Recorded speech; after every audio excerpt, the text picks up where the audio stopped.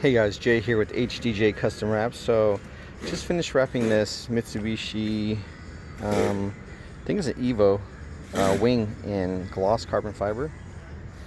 Let's see if we can get some of this carbon fiber on here.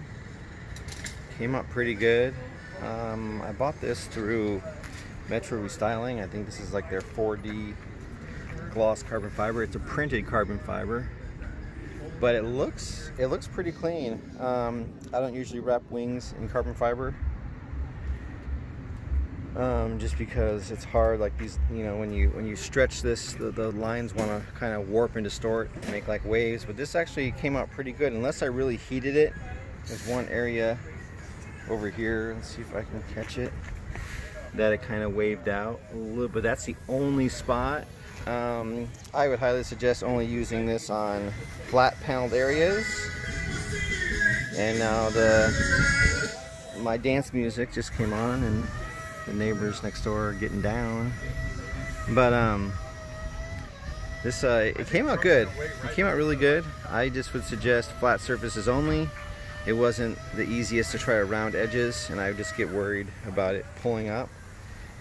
I actually uh, rounded the edges and then put some gloss black liner or it's like edge tape to kind of lock it in but you'll never see it unless the trunk's up. So the point of this is just having the carbon fiber look when it's down.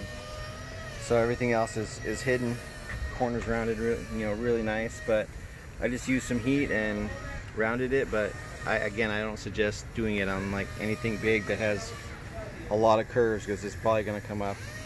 But just thought I'd share this with you guys. Um, what else? Anything else going on? Wrapping a couple cars. I'm about to wrap this Mustang. Um, some different. Let's say so. Be on the lookout for that. Other than that, you guys stay safe. Um, stay out of the heat. Like, subscribe, follow, turn on notifications. Please share this with somebody. I'm uh, about, I think, what am I?